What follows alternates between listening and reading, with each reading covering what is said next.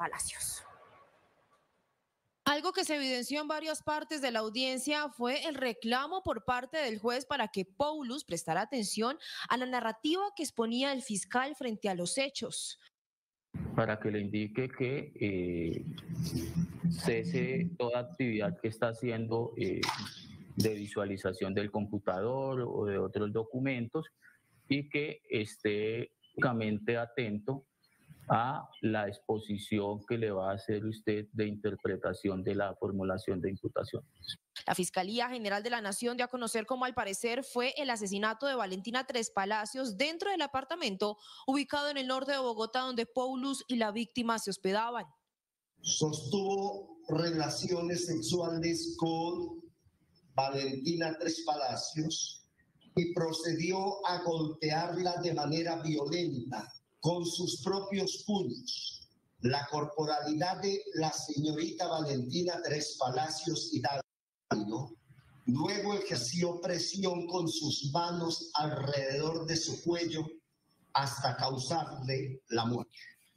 La víctima Valentina Tres Palacios Hidalgo, de 21 años de edad, falleció por asfixia causada por estrangulamiento. La fiscalía conoce varios eventos de celos por parte de John Paulus hacia Valentina. Como resultado de un proceso celotípico basado en una obsesión permanente respecto de la relación sentimental o de pareja sostenida con ella, hasta el punto de concebirla como un objeto personal y por ende ejercía sobre ella un acoso y control sobre sus acciones y actuaciones. El fiscal narró los momentos de sufrimiento que habría padecido la víctima previo a su muerte.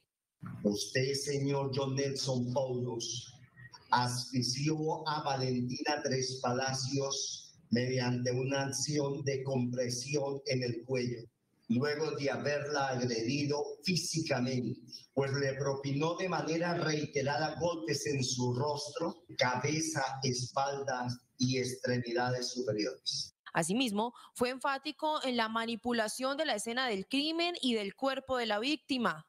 Procedió a doblar su cuerpo, aprovechando la flacidez del mismo y lo empacó en una maleta de viaje azul de propiedad suya.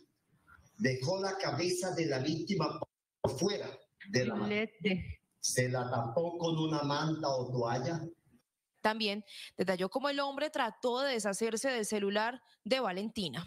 El haber abandonado el